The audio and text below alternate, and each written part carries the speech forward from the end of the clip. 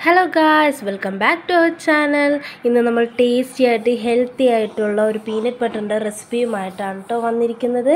ഇതിന് നമുക്ക് ആവശ്യം രണ്ട് കപ്പ് പീനട്ടാണ് ഈ രണ്ട് കപ്പ് പീനട്ട് ഉപയോഗിച്ച് നമ്മൾക്ക് അര കുപ്പിയോളം പീനട്ട് ബട്ടർ നല്ല ഹെൽത്തി ആയിട്ടുള്ള പീനട്ട് ബട്ടർ ഉണ്ടാക്കിയെടുക്കാവുന്നതാണ്.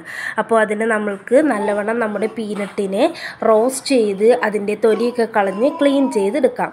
ഈ ക്ലീൻ ചെയ്തെടുത്ത പീനട്ടിനെ നമ്മൾക്ക് ഒരു മിക്സിയുടെ ജാറിലോട്ട് മാറ്റി കൊടുക്കാം വീഡിയോ ഇഷ്ടമായ ലൈക്ക് ചെയ്യുക ഷെയർ ചെയ്യുക സബ്സ്ക്രൈബ് ചെയ്യുക. ഇതിലേക്ക് നമ്മൾക്ക് ആവശ്യത്തിന് ഉപ്പ് ആഡ് ചെയ്ത് കൊടുക്കാം. അത് കഴിഞ്ഞ് ഒന്ന് ഗ്രൈൻഡ് ചെയ്തെടുത്തിട്ട് വരാം.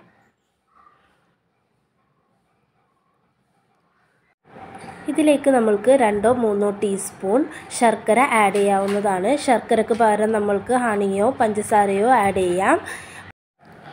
വീണ്ടും ഒന്ന് ഗ്രൈൻഡ് ചെയ്തെടുത്തിട്ട് വരാം. ഇതിലേക്ക് നമ്മൾക്ക് one teaspoon coconut oil add ചെയ്യാം.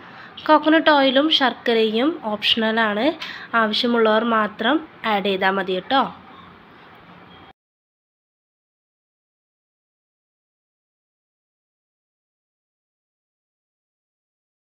ഇതിനെ നമ്മൾക്ക് വീണ്ടും ഒന്ന് ഗ്രൈൻഡ് ചെയ്തെടുക്കാം.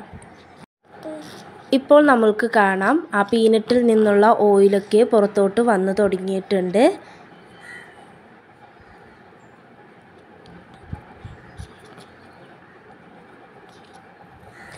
ഇതിനെ നമ്മൾക്ക് ഒന്നും കൂടി ഗ്രൈൻഡ് ചെയ്തെടുക്കാം.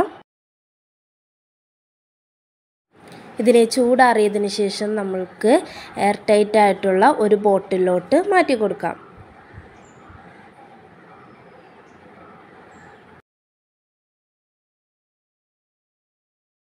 നമ്മുടെ കടയിൽ നിന്നൊക്കെ മേടിക്കുന്ന കറക്റ്റ് അതേ ടേസ്റ്റ് തന്നെയുള്ള പീനട്ട് ബട്ടറാണിത് വളരെ സ്മൂത്തി ആൻഡ് ക്രീമി ആയിട്ടുള്ള പീനട്ട് ബട്ടറാണ് അപ്പോൾ ഞാനിതൊരു ജാമിന്റെ ബോട്ടിലാണ് ഇട്ട് വെച്ചിരിക്കുന്നത്. ഈ ബോട്ടിൽ ഒരു അരഭാഗത്തോളം എനിക്ക് കിട്ടിയിട്ടുണ്ട്.